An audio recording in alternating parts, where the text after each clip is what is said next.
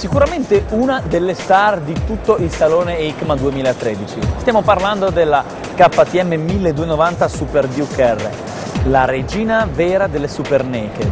Infatti ha il motore più potente della categoria, stiamo parlando di ben 180 cavalli, pensate, su una moto con il manubrio alto e senza il plexiglass. Questa è sicuramente un'arma da pista per la potenza esorbitante che ha e per le dotazioni ciclistiche che comprendono tra le altre cose anche delle pinze monoblocco radiali.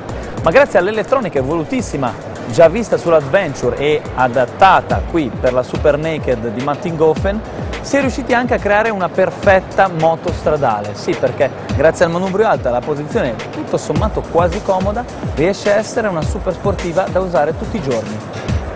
KTM non pensa solo agli smanettoni ma anche ai motociclisti in erba e così affianca la best seller Duke la nuova RC 125. Questa moto ha i canonici 15 cavalli imposti dalla legge e pesa 139 kg ma assicura un grande divertimento con una ciclistica veramente a punto e un impianto frenante potente dotato anche di ABS.